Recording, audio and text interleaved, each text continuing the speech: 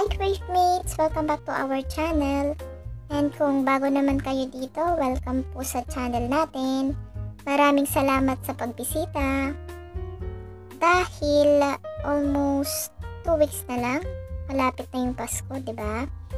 Naisip kong mag-share ng recipe na madali lang kahit mga chikiting kayang-kaya nila to. So, ang gagawin natin ngayon is pesto pasta. And ang twist naman dito is magre-review tayo sa dalawang brand. First is Clara Olay Cheesy Pesto and the other one is McCormick Pesto Mix. Ang unang-unang kaibahan nila is Clara Olay sauce base siya and yung McCormick naman is powdered mix. So, tignan natin kung ano yung papasa sa panlasang Pinoy at di lang kapangpangan. I hope ma-enjoy nyo to and keep on watching. Ang gagamitin nga natin are these ready to mix pesto sauce, lalo na kung wala kayong tanim na basil. Siya yung main ingredients niya. Other than that, kailangan mo din ng pine nuts, parmesan cheese, and olive oil medyo pricey yung mga yun. Hindi naman pwedeng bumili ka ng per ml lang, di ba? So, ito, makakasave ka na din. And mas madali pa siyang i-prepare. Aside sa pesto sauce, lalagyan din natin siya ng tuna. Yan yung sakan. Kumuha ako ng isang regular and isang hot and spicy para lang ma-mix siya. And then, kailangan din natin ng pasta. Ang kinuha ko is 500 grams. Per pouch ng ready-to-mix pesto sauce is good for around 200 grams to 250 grams. So, ito hahatiin na lang natin at isa ang luto. Ayan. Yung sa pagluto naman ng pasta, follow lang sa direction kung ayaw niyo medyo al dente. Pwede naman kayong mag-add over a minute pero wag naman po yung i-over natin siya. While waiting na kumulo yung tubig at ito, unahin muna natin yung garlic. Yan, tanggalin lang natin yung matigas na part. Yan. Bali, ginawa ko is mince para mas malasa yung bawang natin sa sauce. Yan, at least 5 pieces. It's good for 2 tablespoon na yan. Kung gusto nyo pang bawasan or dagdagan, nasa sa inyo. Chop lang ng pino. Yan. Ihahatiin natin para pagkaluto or pagkisa, mas madali na pinuhin lang po ng maigi. And after more than 10 minutes, rolling boil na yung water. Lagay na yung pasta mo. Yan, occasionally stir. Pero ako maglalagay ako ng olive oil. Pwede din cooking oil pero mas maigi kung olive oil para malasa siya. Yan, stir para hindi lang magdikit-dikit yung pasta mo. Yung iba naglalagay ng asin pero ito hindi na kailangan, I think. Pero kung gusto nyo maglagay, pwede po kayo maglagay. Ayan. Kumukulo-kulo na. Sa ano to ha? High heat. Para di malata yung pagkaluto. Ayan. Stir lang natin. Maigi. Medyo matigas pa to. Kaya switch muna tayo dyan sa may tuna. Drain lang natin sa maliit na bowl. Pagsamahin yung brine ng spicy tsaka hindi para mabalance yung spiciness. And then, mix ko din yung meat niya ng tuna. Tapos, binalik ko kada kan. Balikan na natin yung pasta. Over 11 minutes na to. Palambot na yan. Okay na yan. Ready to drain na.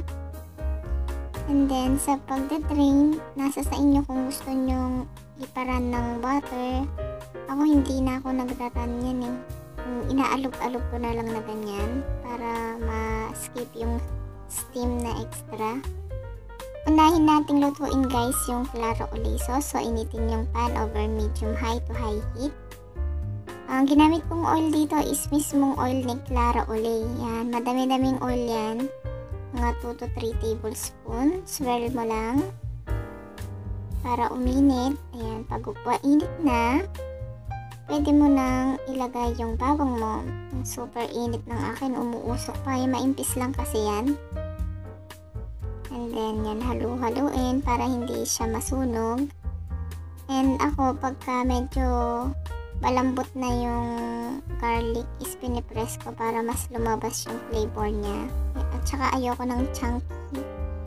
Yan, pwede na yan. Tapos ilagay mo na yung tuna. Nakamix yan guys ha, yung spicy tsaka yung regular or classic. Mix it well para hindi tayo masunugan ng bawang. And then, papakuluin ko lang yan pwede na tayong maglagay ng brine ng tuna. Usually, 4 tablespoons, pwede na yan. Kasi gagamitin pa natin yung rest sa ano, kabilang recipe. Ayan, halo-halo lang. Mas maigi lagi yung pinapakulo para mas tumagal yung shelf life ng pagkain. Ayan, pwede na natin ilagay yung pesto sauce ni Clara Olay. O, diba? Ang dali-dali lang niya, guys. Kahit mga chikitings nyo, kayang-kaya nilang gawin yan. Kayang-kaya nilang i-prepare yan. Pero guide pa rin sa pag-slice, uh, lalo na sa mainit na tubig. Yan, pag nagpapakulo ng pasta, yan, pwede na natin siyang tikman kung anong kailangan natin i-adjust. Mmm, malasa siya, guys. So, wala na akong i-add dito ah. Ilagay ko na yung pasta natin. Etong pouch na to is good for 250 grams. Pero mga 300 grams ang ilalagay ko. Yan. Diba, hiwalay nyo habang hinuhulog para hindi tayo mahirapan mamaya sa pagmix. Para well coated lahat ng pasta natin sa sauce. Mix lang natin para mas ma-absorb pa ng pasta yung sauce.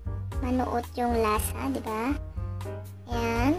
Hiniraan ko na din yung apoy dito, guys. Pero pwede nyo ding patayin right after. Ayan na yung finished product natin. O, di ba? Legit. Transfer to your bowl or plate. Ready to plate na tayo. Ayusin lang. Ayan. Magdagdag ng konting parmesan cheese para hindi lang siya overpower. And then, eto may basil na tanim si nanay. Kuha tayo. Pang display lang naman. Pwede din namang hindi lagyan. Ayan. Sa may top. Tapos kuha tayong dalawang piraso pa. Ayan. Ang sarap ng feeling oh binubunot mo yung ingredients mo. Then, don't forget to wash it well. Lagay lang natin sa gitna, guys. Mukhang pang restaurant style na, oh. Sino ba naman mag-aakala, ano? Ito yung Clara Olay. Next naman, itong McCormick Ayan, same pan ang gagamitin natin. Lagay lang ako ng tuna brine. Ayan yung direction niya. Pero instead na olive oil yung gamitin is or oil. Ayan, yung tuna brine yung ginamit ko. Pero medyo water ito guys ha. Ayan, lagay mo na yung garlic. Kung ayaw mo, skip mo na lang to.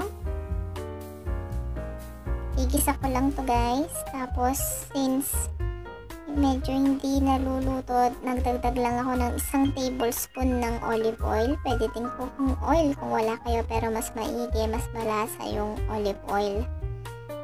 Usually kasi sa mga pasta, yan, sa mga Italian pasta, lagi yan may olive oil. Tapos, malambot na yung bawang ko. Yan, pinipress ko para pumino lang siya lalo. Kasi yung mga bata ayaw din ng mga chunky na garlic, di ba? Pakuluin lang. Ayan, medyo ano na, luto-luto na. Nag, ano na yung oil niya. Lumabas na yung sariling oil niya at nag-dry up na ng konti. Ayan. Halo lang. Then, lagay tayo ng 1 4 na tubig. And then, add our pesto McCormick mix. Yan. Simutin lang po. Sayang naman. Natira pa. Then, mix it well. Afterwards, pwede na natin ilagay yung tuna.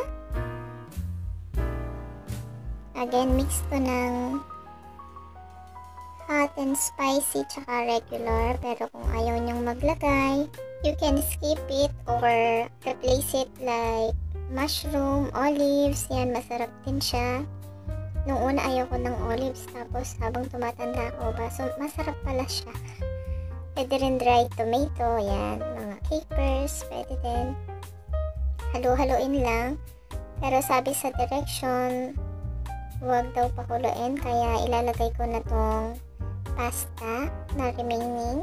Ito, mga around 200 grams to guys ha. Kasi yung McCormick pouch na powder mix nila is good for 200 grams. Yan. Pakapitin lang sa pasta yung sauce. And pwede na natin siyang i-plate. Ayan yung finished product ni McCormick. Fill yung register niya pero hindi ganyan yung itsura sa personal. Ito mas malapit yung itsura niya. Pasensya na iba-iba po yung color. Since hindi pa high-tech at professional yung gamit natin. Cellphone lang ang gamit ni Inday. Ayan, di ba? O, madaling-madali lang.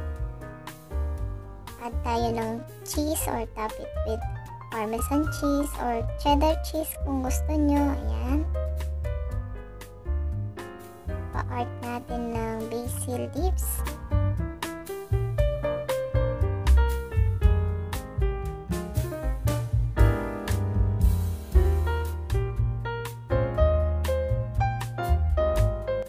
Gamit natin dito is McCormick pesto pasta mix.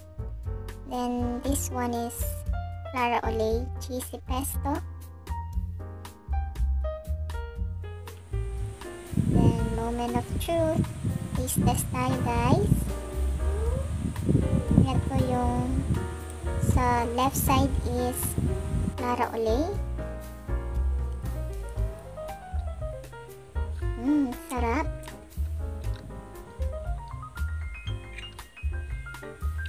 Yung gusto ko dito is subtle yung taste niya. Pero savory siya. Ito naman yung McCormick. Try natin.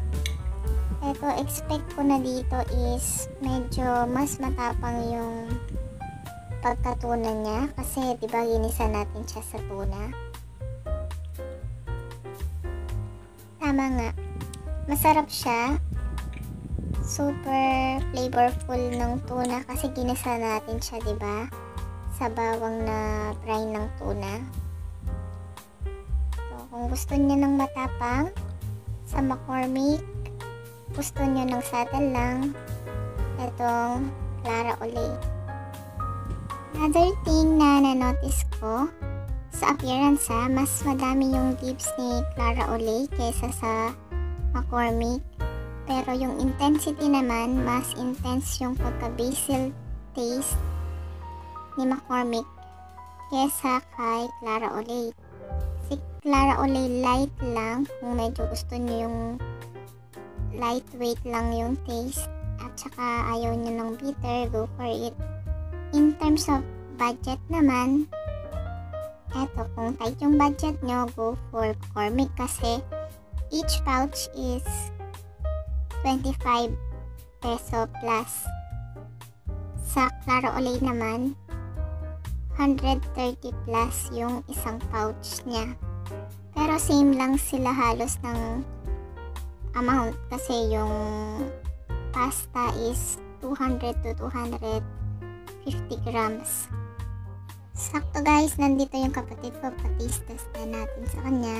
Yan, so I'll be tasting first. What's this? Claro Olay. Claro Olay. Mhm. Sharp.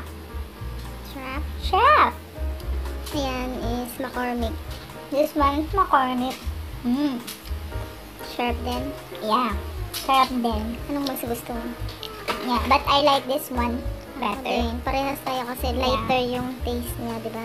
Yeah. Okay. Thank you. Thank you. Sana kahit pa paano nakatulong tong review na to, lalo na sa magko-consider na mag-try or gumawa ng pesto pasta. At least may guide na kayo kung anong brand yung bagay sa inyo, sa panlasa nyo. At the end of the day kasi yung preference iba-iba tayo eh. Minsan sa akin masarap, sa kanya hindi pala. So, kailangan nating magrespetuhan guys. And, yun, share love and recipes.